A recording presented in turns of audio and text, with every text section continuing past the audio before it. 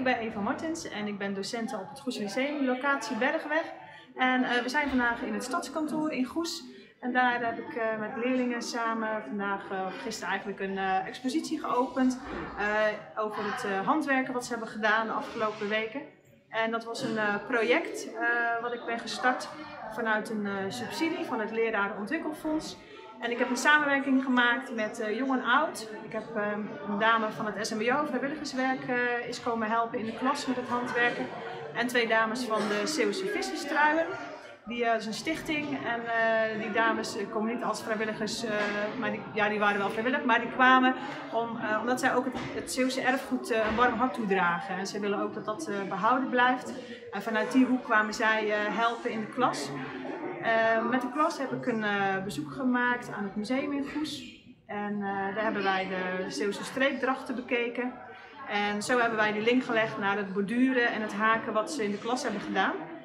En op een stukje Zeeuws schortenbond hebben ze hun werk vastgenaaid en zo hebben we er een klein kunstwerkje van gemaakt. En dat is tot 21 mei te zien hier in het stadskantoor.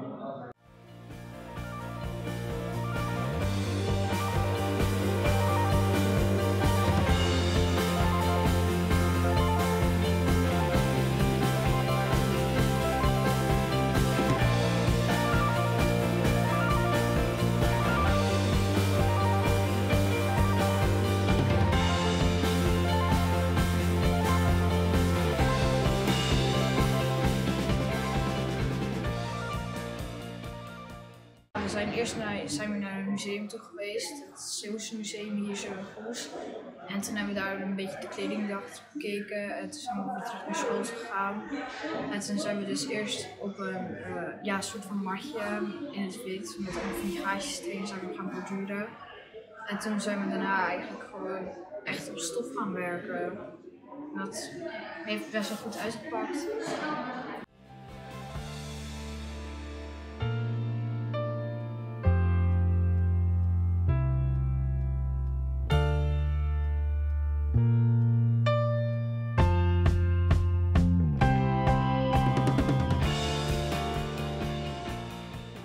De leerlingen die vonden het erg leuk om te doen. En in het begin was het uh, een beetje van ja maar hallo, ik ga niet uh, borduren en haken, dus was ik uh, suf en ouderwets.